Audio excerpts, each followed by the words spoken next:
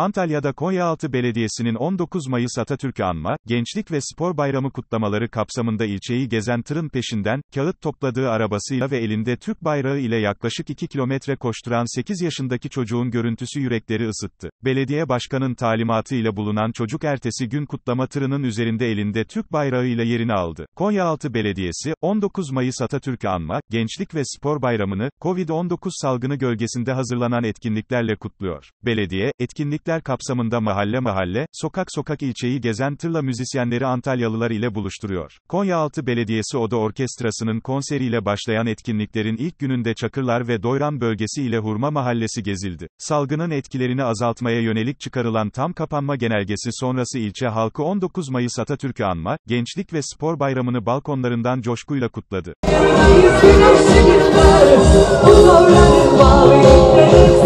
Konyaaltı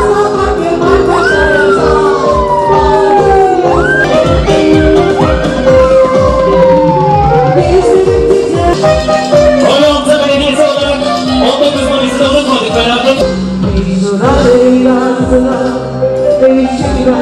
Gezici tır, Hurma mahallesinde gezerken, kameralara ilginç bir görüntü yansıdı. Çek çek diye tabir edilen arabayla çöplerden karton kağıt toplayan çocuk, tırı görünce kağıt topladığı arabasıyla tırın peşine takıldı. Yaklaşık 2 kilometre boyunca, ayağında ayakkabı olmadan tırın peşinden koşturan çocuk, görevlilerin verdiği Türk bayrağını da sallayarak coşkuya ortak oldu. Çocuğun görüntülerini izleyen Konyaaltı Belediye Başkanı Semih Esen, belediye çalışanlarından çocuğu bulmasını istedi. Sokak sokak çocuğu arayan ekipler, kağıt toplayan başka çocuklar vasıtasıyla Fuat Tuna'ya ulaştı. Fuat Tuna ve kardeşlerini ağırlayan Başkan Esen, dünkü etkinlikte de Fuat'ı tır ile Konyaaltı'nı gezmesini sağladı. Gururla Türk bayrağını tırın üstünden sallayan Fuat Tuna, 4 yıl öncesi ailesi Sakarya'dan Antalya'ya taşındıklarını söyledi. Sarısu bölgesinde ailesiyle çadırda kaldığını belirten Tuna, kağıt toplayarak ailesinin geçinmesine omuz verdiğini söyledi. Önceki gün yaşananları anlatan Fuat Tuna, kağıt toplarken yanımdan müzik çalan tır ve arabalar geçti. Çok heyecanlandım ve ben de onlarla gezmeye başladım. Ne kadar yürüdüm, bilmiyorum. Bugün de tırın üstünde beni gezdirdiler. Tırın üstünde olmak çok daha güzel dedi. Çok korktum.